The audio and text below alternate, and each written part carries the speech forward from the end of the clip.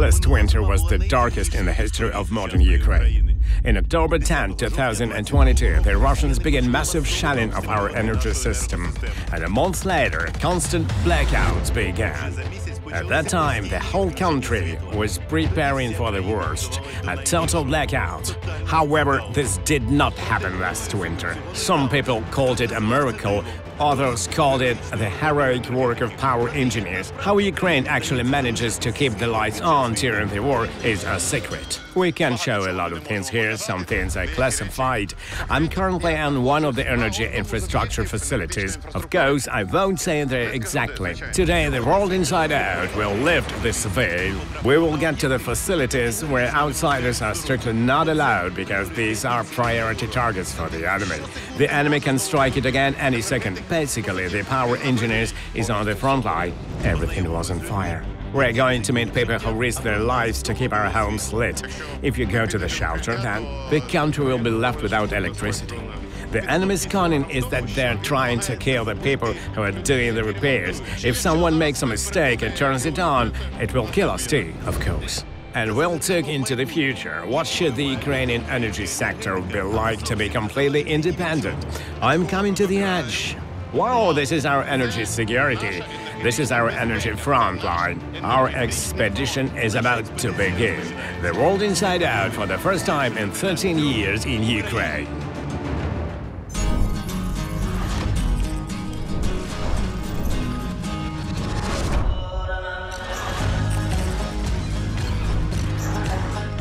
The World Inside Out with Dmytro Komarov, Ukraine half of the entire Ukrainian energy system has been damaged by Russian shelling.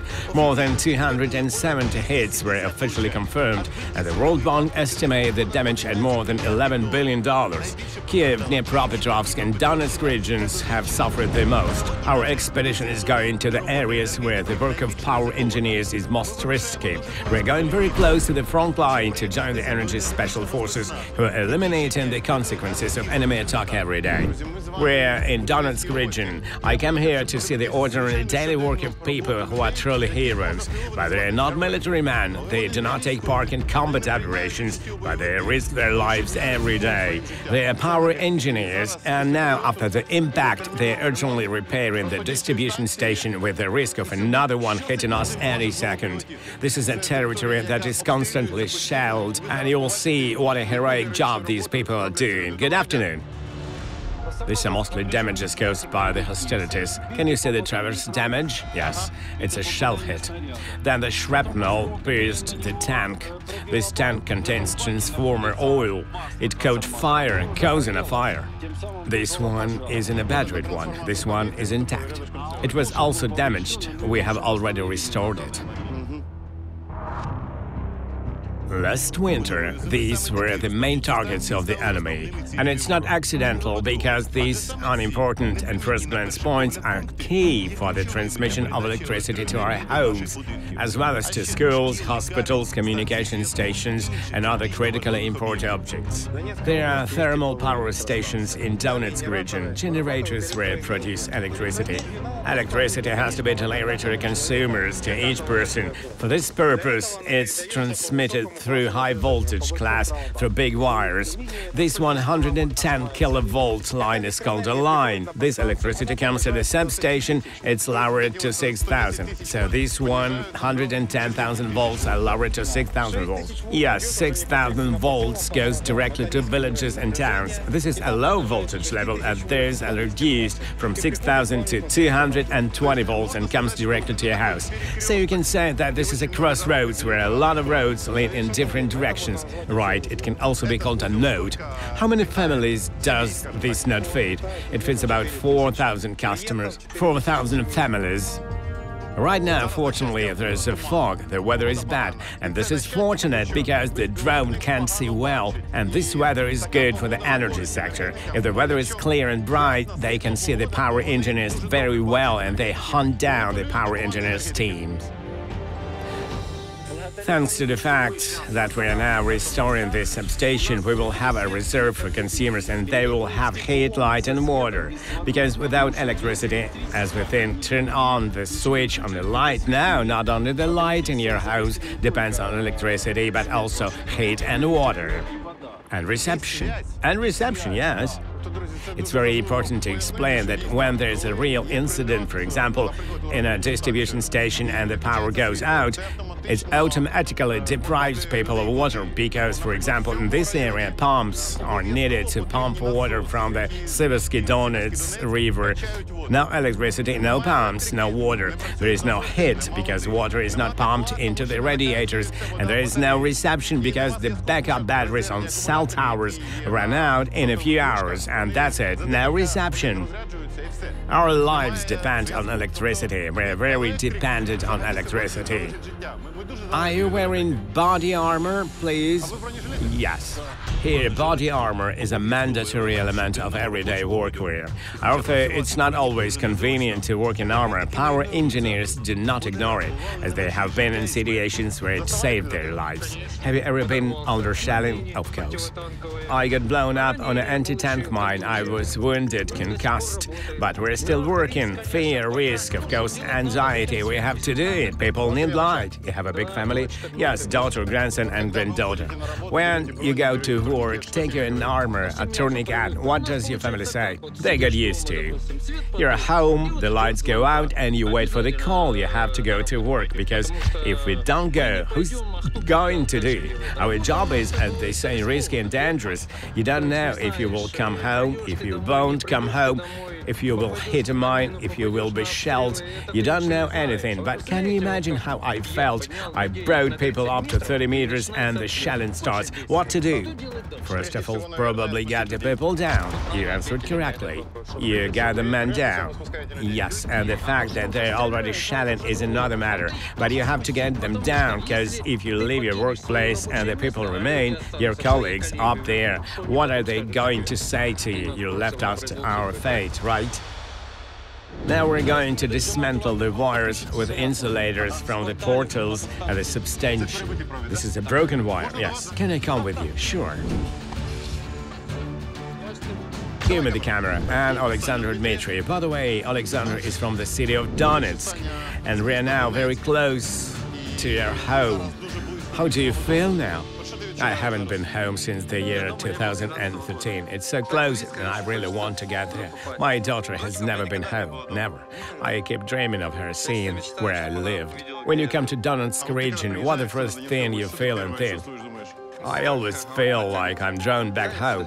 It always draws me here, but the most frustrating thing is that my father died in April of this year and I couldn't come to bury him, as it should have been. It was very frustrating. It makes you cry.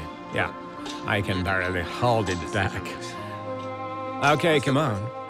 I'm sorry, Alexander, I'm sorry. You see, we all have our own personal stories. I'm crying too, to be honest. I can hardly hold it back. I knew Alexander's father well, and I knew that Alexander could not go to the funeral. It's all here, close by. Let's get back. Let's get back to work.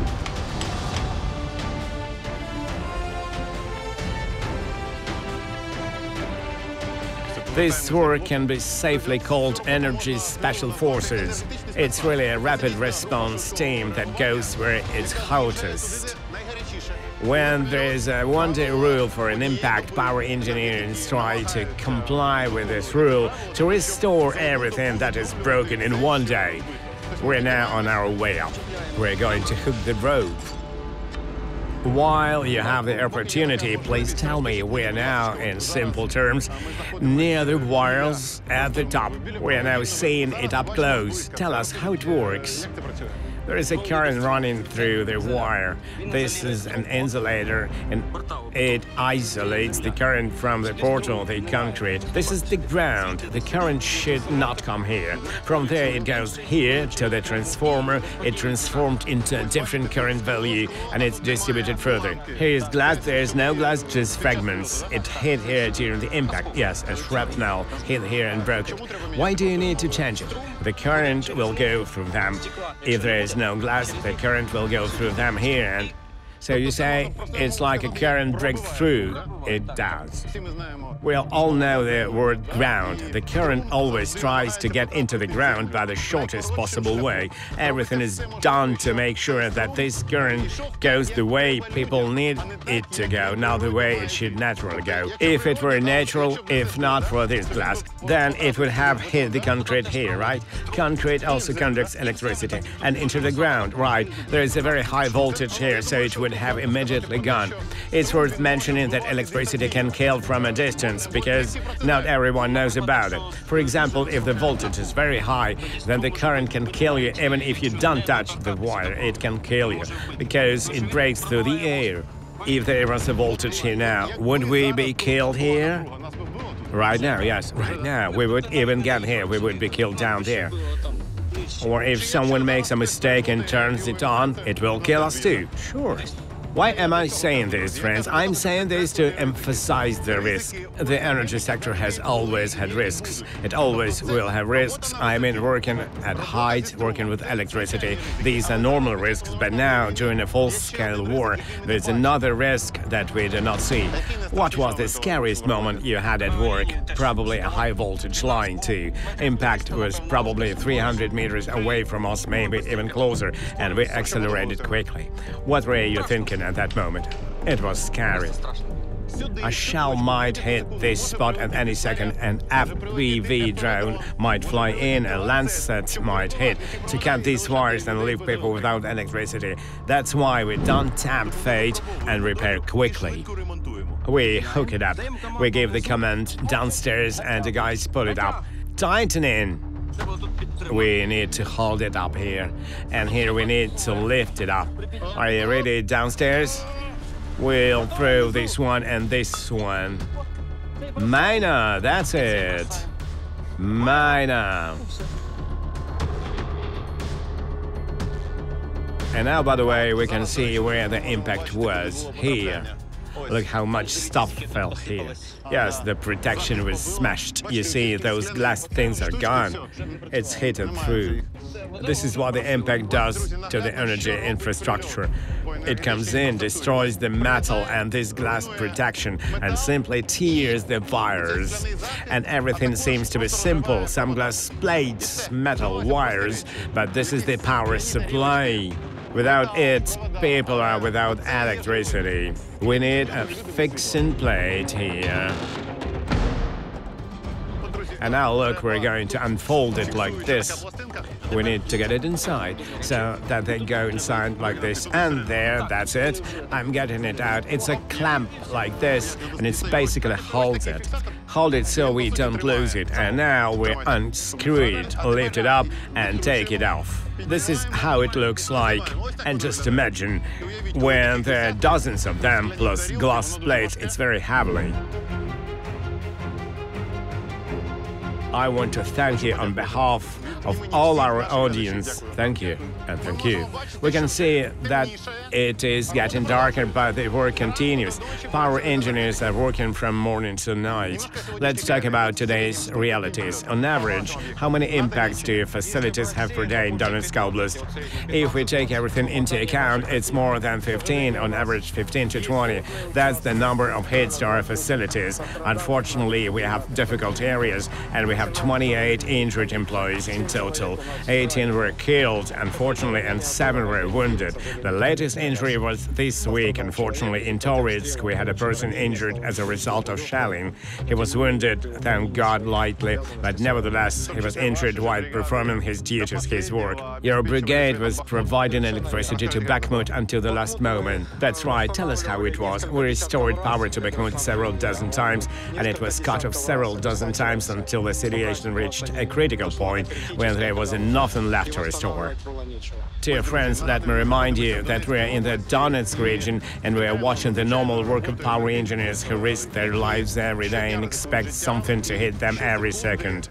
This situation is one of the main goals of Russian shelling to destroy a distribution station and leave people without light, without heat, without communication. The enemy's cunning is that they try not only to destroy their distribution stations, but also to re-attack them while repairs are underway to kill the people who are repairing them and thus complicate further restoration work. Power engineers are basically on the front line. They are. There is nothing more valuable than people. No equipment can compare with the value of the people who work here, who stayed here, who are ready to support the life of the region. I'm grateful to those installers, those guys who tighten the knots, who get up at the first call and go to the line. Without them, we can't do anything. Thanks to those who tighten the knots, because if they won't tighten the knots, the country will be in the dark. This is where it starts.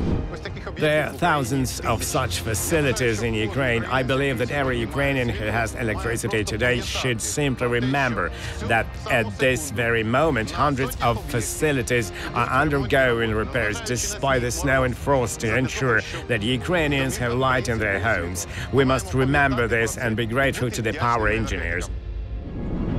Nowadays, it's almost impossible to live without electricity. We realized that last year during the blackouts. At the beginning of 2023, the enemy managed to reduce electricity generation in Ukraine by half.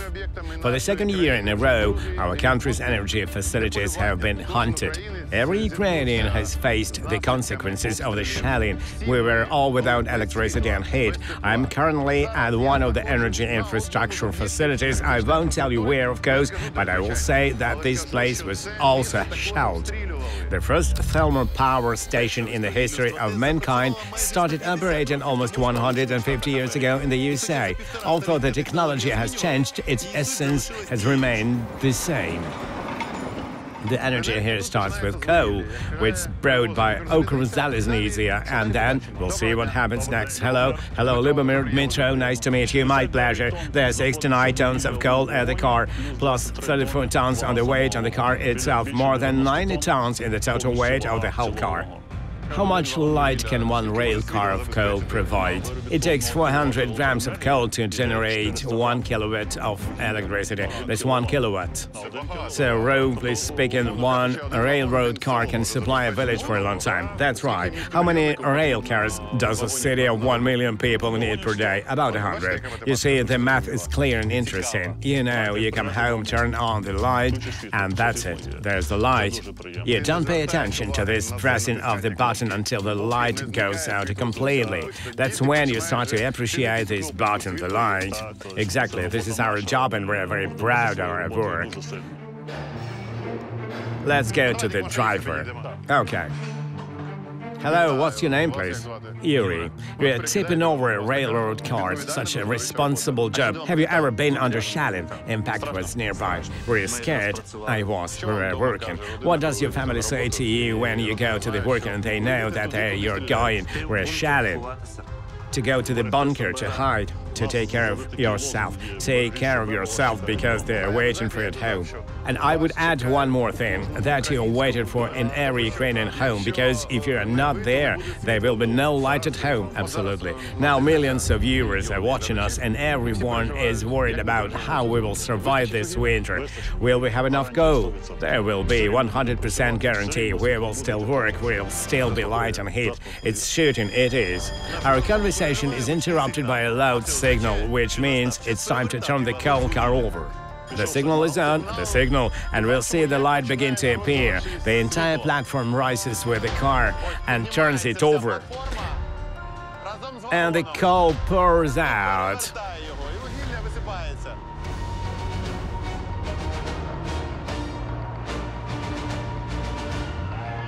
Ninety-two tons of coal were lifted in 30 seconds. The whole process takes up to two minutes. I'm going up to the control room to show you this spectacular process from the inside. Here is the signal. Let there be the light. Now I've pressed the handle and we're running to see what I've done.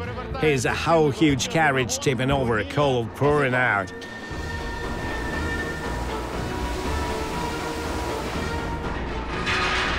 I have to turn it back, right? Yes, go ahead. Start in position in the middle. One and back.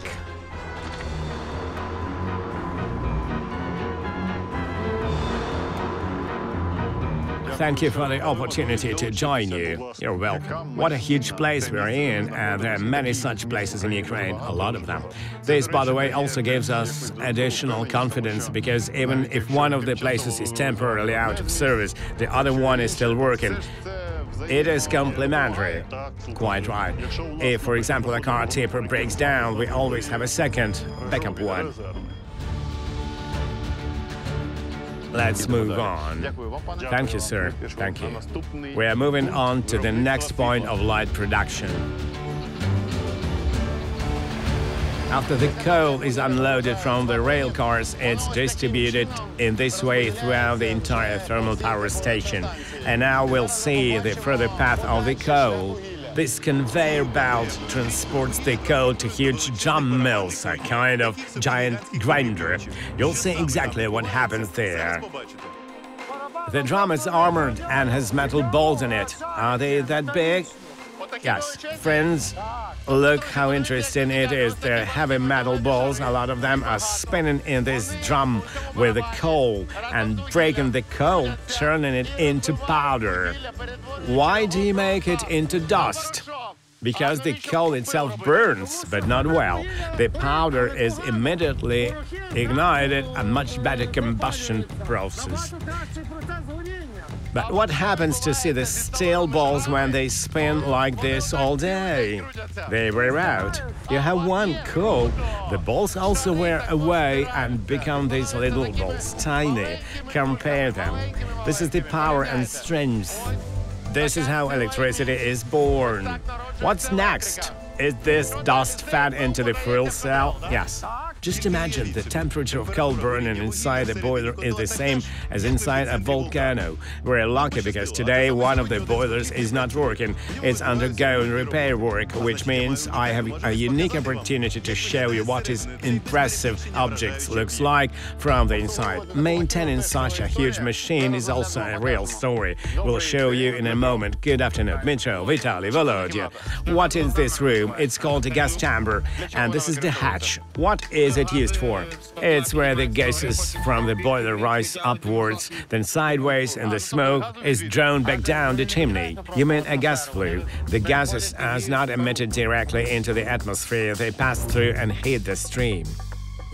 I climb into the gas chamber. It's such a good evening. The opening for passage is very narrow. Now our cameraman Alexander climbs inside. Now we are practically on top of the boiler. The whole thing is as high as 10-story building. Surprisingly, from the inside, this industrial giant reminds me of a musical instrument, an organ, with its many pipes. Inside each of them is a stream water mixture that is heated during coal combustion to 540 degrees Celsius and rushes to the turbine with enormous pressure making it move. And this is the defective part and we'll change it now. Here is the corrosion, see? They already hole, then it's not functional, steam is coming out, yes. Only welded, yes. You can see how complex the system is. Even in this room you can see the floor is made of pipes, the walls are made of pipes, the ceiling is made of pipes, and all this for steam. The steam travels a long way before it creates electricity for us. All this must be carefully monitored, and as you saw the tiny hole, it must be found and repaired. And the scale, look, the room seems endless.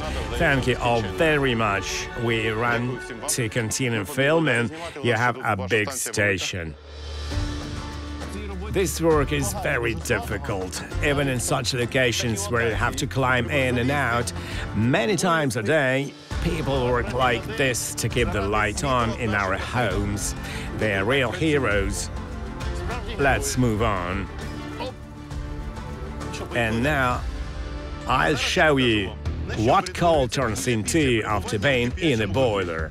After the coal is burned into the boiler, the slag is driven through the slag hole.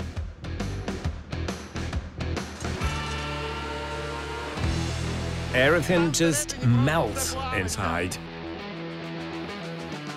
The slag is liquid, but it hardens like icicles, yes, and you have to push them. From time to time, you have to help it fall. The slag we see is the waste that remains of the coal burns. It consists of glassy particles. I just see these small icicles and I push them a little. This is also dangerous because a big piece can fall there. The hot slag falls into the water, cools and hardens, turning into stones. The water just glows. This is how the process is completed. Coal has already produced electricity for us and it's no longer needed. This is a slag. Here it is. And finally, the last point of our route where the light actually appears. Hello, hello. You're in charge of this area. Yes, I am. This is a turbine generator where steam is converted into electrical energy. That is, coal burns, steam comes out, and steam turns this turbine. Yes, and it turns the generator, and the generator provides us electricity. So basically, we need to produce a lot of steam, and we will have electricity. Yes. To put it simply, it's a dynamo machine, for example, based on a bicycle. You pedal, and energy is generated. It's a big dynamo machine and not a bicycle, but steam turns a huge turbine. So briefly, how a thermal power station works. Coal is ground up and enters the boiler in the form of dust. In the boiler, it burns and heats the water in the pipes, turning it into steam. The steam turns the turbine of a giant generator, which transforms this motion energy into an electric current. This current is transmitted through high voltage power lines to substations, from where it's distributed to users. So a thermal power station is a huge kettle with a fan driven by steam. In fact, everything is very simple in terms of the technology itself. Today, due to Russian missile attacks, this thermal power station is no longer able to produce the same amount of electricity as before the war, and now you will understand why. And this is just scary to look at. This is a place that no longer works. Just now, we're in the place where work was in full swing, and here it is. There's no life here anymore, no work. It feels like we're somewhere in Chernobyl. Russian missiles hit here. The damage here is worth many billions of hryvnias. It will take many years to restore it. I don't know about you, it hurts me to look at all this. To be honest, the first few minutes after the shelling, we also had tears in our eyes. It was a day off. People came from home outside of their working hours and immediately started to eliminate the accident because there was a strong fire and it was necessary to localize it so the fire would not spread to other equipment. How did this hit affect the energy sector? For example, this unit could power 10 tons like the one I live in. That's a 10 Ukrainian city. Yes, cruel math. Let's be honest, many of us, when there was no electricity for a long time, probably said on emotion, why did it take so long? Why were such long blackouts? And when you come here, such questions no longer arise. The workers of TPS who cannot leave their workplace even during missile shelling because even at such moments they have to control the operation of the entire power station, although they are the ones who are targeted by the missiles. And now we're going to visit the epicenter of the system control. Hello everyone, hello. There's a lot we cannot show here, some things are classified, but you have an exceptional opportunity, dear friends, to see how electricity production is managed. In a nutshell, what is going on here? I monitor the parameters of the unit, the levels of the rotors, the combustion process. It's essentially a control center. If there is a shell in, your colleagues run to the shelter, but you cannot. They're aiming here. What do you do? Since we're not allowed to run away or leave the workplace, we were immediately given helmets. We put them on. Everyone goes to the shelter and you put on your helmet. Do you have bulletproof vests? Yes, we have. Look. These are peculiarities of work. If you go to the shelter, the country will be left without electricity. What's your name, sir? Igor. Do you have a big family? Children, a wife? What are the kids' names? Vitaly and Justin. What is your wife name? Maria. Friends, look, Ihor cannot run to shelter during the air raid because here we cannot show you the details. He does such a job in this workplace at the computer that if he leaves, millions of people will be without electricity. I thank you in your person to thousands, tens of thousands of Ukrainian power engineers. Thank you. Today, Ukrainian thermal power stations are the main targets of Russian shelling.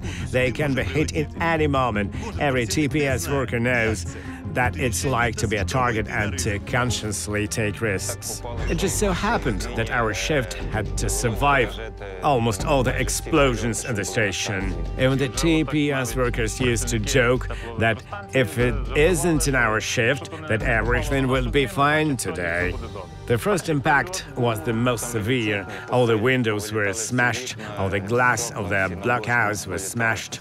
There were some devices damaged.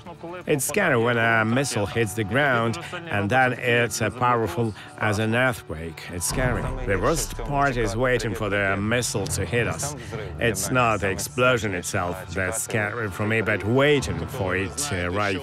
When you know that's coming and it's coming at you. Yes, that it's the aftermath. You're alive, you're okay. We save the equipment as best we can. What the scariest moment? It was scary when the fire started. Everything was in fire. We stopped blocks and started putting out the fire. What do people say at home? They say that they're even more scared for me than I am for myself. Even my friends from the front line called me and I asked, How do you know that we have already been hit? It's a paradox, isn't it? People from the front line are calling to ask if you're alive. Here in the city, not near the front line. Yeah. But when you're in an energy facility, you're essentially at the front line. And what is your main motivation to keep going to work, knowing about all the risks, realizing the risks? If everyone leaves, who will work? Someone has to keep the lights on. The emergency workers may also leave their job because they also have a risk there, right? Doctors can live and the military can live, but they don't commitment, yes, for yourself, for your family, for your country. I'm very grateful to you for your work, for your courage. In general, more than half of Ukraine's electricity is generated by nuclear power plants. About 25% is generated by thermal power stations and 9% by combined heat and power stations, another type of thermal power station. Another 10% of Ukrainian electricity is generated by the hydroelectric power plants and about 5% by solar and wind power plants. Before the Great War, the share of green generation was over 13% and was increasing. However, after the start of the full-scale invasion, many solar and wind power plants were occupied in the south of the country. However, the future of global energy lies in green technologies, and now we're going to show you one of the largest Ukrainian wind farms that helped save the south during the blackouts last year. Hello friends, we're at the altitude of 125 meters and this is a wind farm. It looks like it's uh, just a big fan. You could say that but it's an inside-out fan because it doesn't need to be plugged in. On the contrary, it powers the sockets, provides electricity. This is the most useful propeller in Ukraine. Just imagine one such windmill can supply electricity to an entire village, 12,000 families. And now we'll find out how it works. We'll be assisted by the windmill expert, the director of the Tylyhul wind farm. You know, it's very impressive when you come up and look at it up close. It's as big as a 45-story building, and one blade is 80 meters long. Let's imagine that this area is like two football fields. It's the blades that are responsible for how much electricity the windmill will produce. The larger the blade area, the more wind energy can be captured and converted into electricity. That's why they're so huge. These blades are an engineering miracle in themselves because they adjust themselves and catch the wind when there's almost no wind. And if the gust is too strong, the windmill automatically stops to avoid an accident. And how much does it weigh? One blade is only 20 tons. 20 tons for one blade, that's it. 60 tons are spinning now. It seems that just watching it fly at you, that just can break off and fall, just like in the movies. But it's impossible to estimate the real size of these giant fans when you're standing next to them. We're getting closer to the windmill that hasn't been assembled yet, and now its scale becomes clear. Wow, you get closer and it's just looked like a railroad car. A tank. It's huge. Let's get even closer. Okay, there are five sections, and these five sections are assembled into one tower, 125 meters long. Friends, look at the scale and this pipe. How long is it? It's about 30 meters long. Let's measure it. Just like Alexander and I used to do when we traveled in the jungle. Here we go. It's very simple, step by step. Here's the beginning, and here we go. 1, 2, 13, 14, 25, 26, 33 of my steps, and this is just one section. And there are five such sections. How did such huge details end up in the middle of the steps in our south? This is a really complex project. First, the windmill parts are delivered by sea. Then they are loaded onto huge trailers, trolls, and transported by land. In order to such a machine to drive through the city, all the power lines along the route are specially raised and then returned to their place. Parts of the windmill are transported only accompanied by the police, who block the road in some places so that these giants can pass. The sound is not very loud, so it's not like when you turn on the fan at home and you can't hear anything. And here is such a huge machine and the sound is quite quiet. Because when you look closer at this blade, it has these teeth on it. And when it spins, it cuts the air with these teeth so as not to create such a loud sound. But not everyone receives new technologies equally well. They said that these windmills could make clouds spin around them, and it works not rain. The worms in the ground will disappear, the land will not produce. But we explained that these are all myths that the whole of Europe is powered by such beauties. And this is our future, the future of our energy sector. The world's largest producers of wind power are China, the United States, and Denmark. Imagine just one complex of wind farms in Jiuquan, China, produces enough electricity to supply an entire country, such as Estonia. There are more and more offshore power plants in the world. In the European Union, 17% of electricity is generated by wind, and even in countries that we consider exotic, they also use wind power. Brazil ranks 8th in the world in terms of wind power generation. It's very cool, it's absolutely safe, and environmentally, it doesn't carry any risks of accidents, such as a nuclear power plant explosion or a dam break. This is what we should strive for. This is our future. Ukraine is only at the beginning of its journey, but it's already making leaps and bounds towards the goal. Now we can see what it's like from the inside. From the inside, the base of the windmill looks like more like a subway tunnel. It's impressive. What is the diameter here? Four and a half meters. Can we go inside? Yes, please. I really like this sound. It's so interesting. The echo.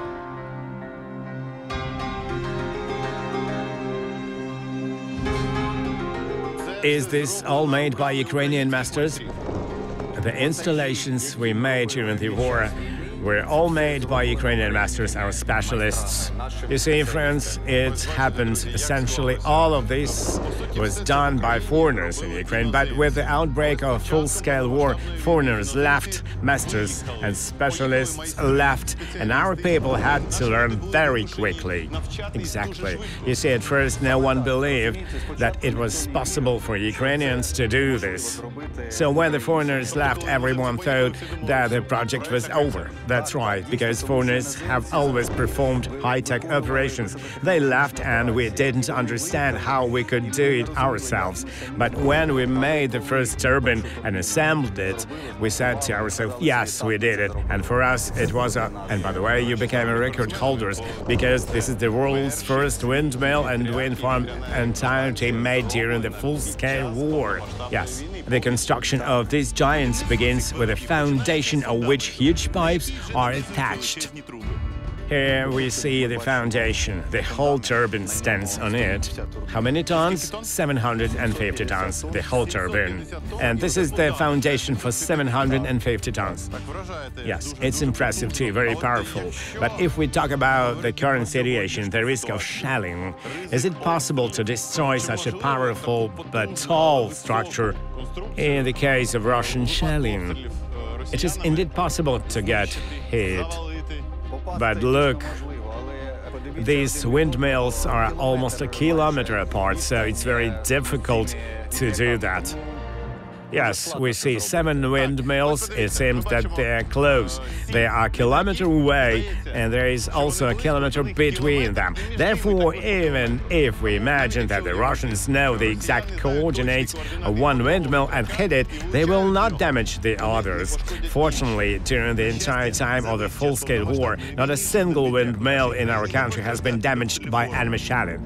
If we go back to this terrible winter, the technology here is so modern, and if it's freezing, snowy, we know that even airplanes don't fly. Sometimes when the weather is not flying, what do you do when the weather is bad? The guys found a drone that is similar to an agricultural drone that sprays chemicals on the fields. Where there's ice and crane is covered in ice, but this drone couldn't fly more than 35 to 40 meters, and we needed to raise the drone to a height of 140 meters, so the guys modernized it. They did. They upgraded, and we took it up. Did you take some kind of liquid that dissolves ice and spray it? Yes, we did. That's cool. We were experimenting, we sprayed the crane. This can be compared to when an airplane is preparing for takeoff in winter, and a machine like this drives up and sprays the winds with a liquid that prevents ice from appearing on the wind surface. So this is a semi-aviation technology, right? Yes, it's cool. We realized that we are filming this during a full-scale war, and unfortunately the enemy is very close at the time of filming. Kherson region is not far away and the enemy is there. As for safety, firstly, the safety of these expensive structures, and secondly, the safety of the employees who maintain them.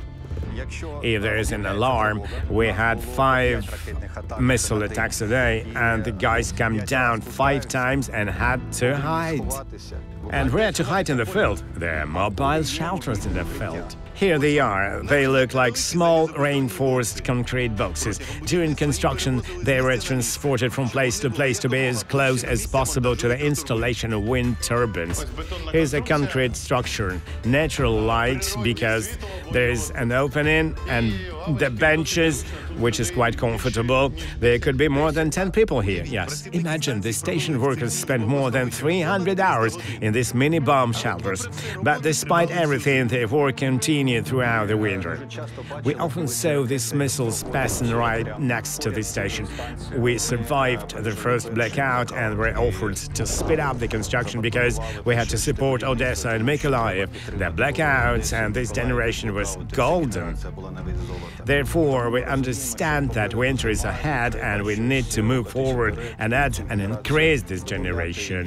While it's fine weather meant your sales, it's true. Let's winter during the blackouts. It was this wind farm that helped the power grid of southern Ukraine to survive. Ten wind turbines, which were operating at full capacity at the time, helped the Odessa region a lot. What a crane! It will be the first time in Ukraine that will change the generator because the generator is over here at the very top, 125 meters. That's right. The unique crane that helped to install the wind turbine is still here because it's needed not only for construction but also for maintenance of the wind turbines. Today, workers were planning to replace the generator on one of the wind turbines, but the work was postponed due to the strong wind. I'm going to take a closer look at this miracle machine. Just imagine the length of this crane's boom is 144 meters. Hello, everyone. Hello. Even our crane operator came out. Hello, hello. What's your name, please? Vladislav. Are you the one who drives this thing? Yes, I do. May I come up to see your workplace? Sure, just go around. This is impressive. I'm going to take a look. I'm going to the guest seat. We are watching the wind too. At the moment, we can't replace the generator as we are over the limits. A wind is good for generating power with a windmill, but bad for work. Yes, it is. Why is it dangerous? Of course. What could happen? We could just lose a crane, that's all. The crane will just fall.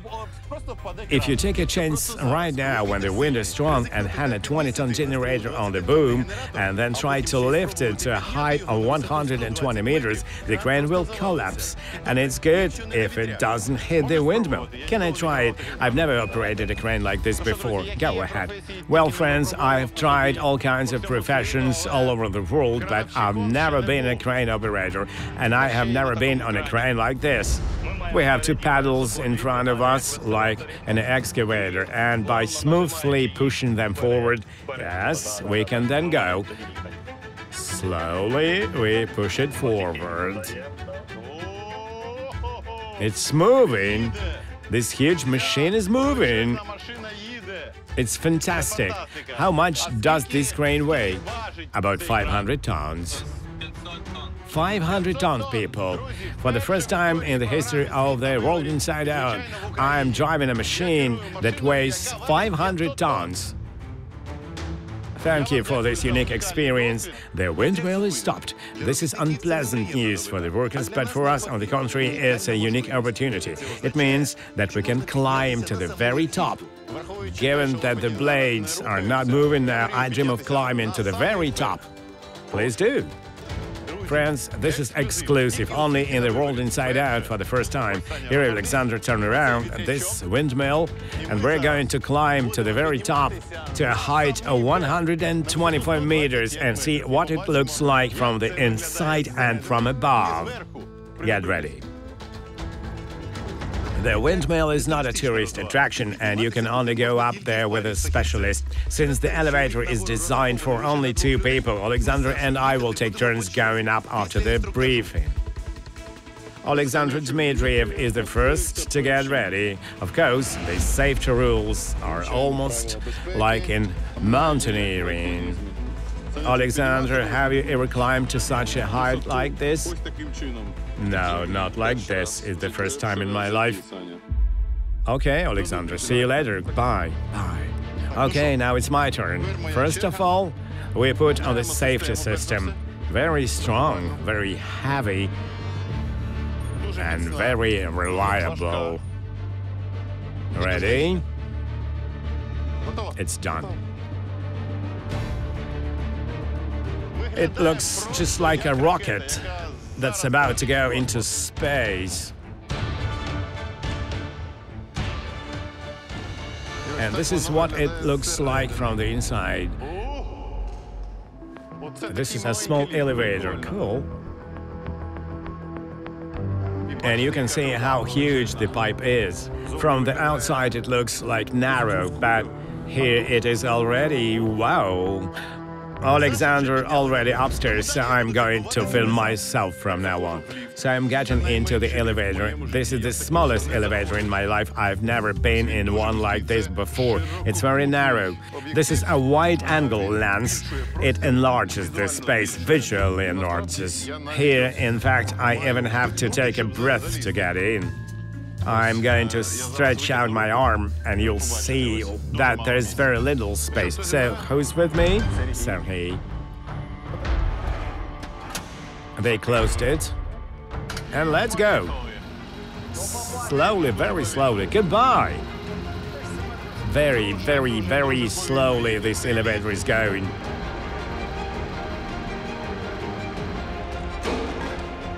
The elevator doesn't take us to the highest point of the windmill. The last section has to be overcome by a ladder. There is a ladder here, and you can use it to go upstairs. Okay, let's go up.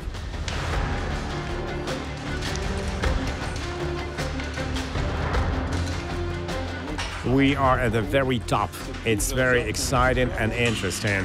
I could not even imagine that I could see this. The feeling is incredible. And this is what the top of the power plant looks like. Is the current here? 35,000 volts, right? This black box with a cable is, so to speak, the main nerve of the windmill. All the current that this gigantic wind power plant collects goes here. It's a box, it's protected. It's just 35,000 volts, friends. There, 35,000 here. Alexander, come on.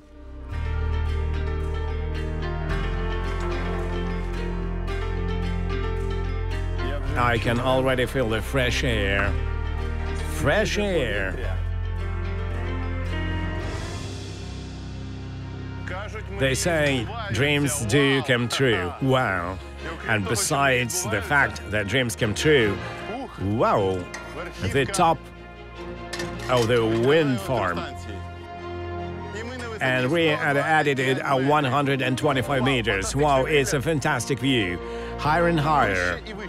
We're going up. I want to go even higher.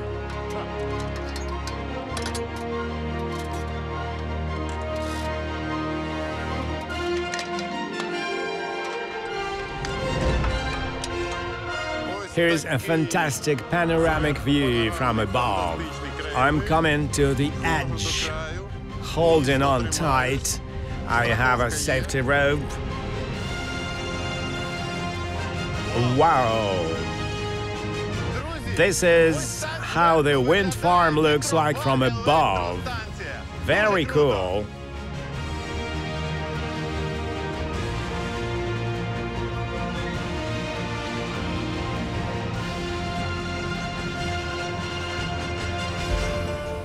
Very strong wind. I'm going to put on my glasses because of the tears. Thanks to such power plants, we can be less dependent of nuclear power energy from thermal or hydroelectric power plants because the wind has always been there and always will be, and we need to use it, especially now during the war, when the enemy regularly shells our energy infrastructure. This is our energy security. This is our energy front line, and it's very, very important. Once here, I felt incredibly proud of Ukraine. The construction of the Tylyhul wind farm right now, right during the war, is the symbol of our resistance and invincibility. In order to provide the entirety of Ukraine with electricity exclusively from wind, we need seven and a half thousand of these giants, and it will cost about 50 billion euros.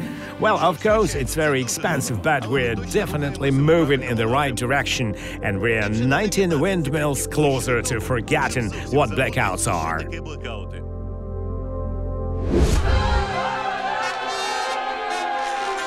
The next episode, a spectacle that takes your breath away. Carnival in Rio de Janeiro is no match.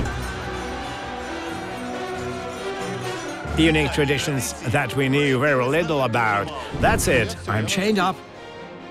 Don't break my ribs.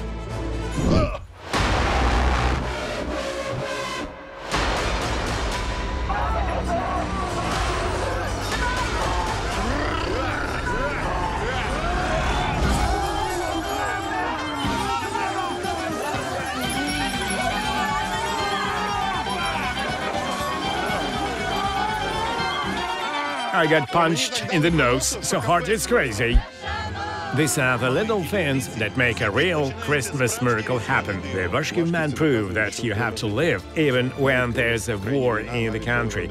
Even when there's a tragedy in the family, you have to go on living, not stop. Those are the people who manage to keep hope alive despite the circumstances. We want to bring joy to people, even in such neighborhoods where there are still one or two families living in houses. We want to bring them some kind of kindness, warmth, something we can do. Historical chronicles of Christmas celebration in the first year of full-scale war, exclusive in the World Inside Out Ukraine.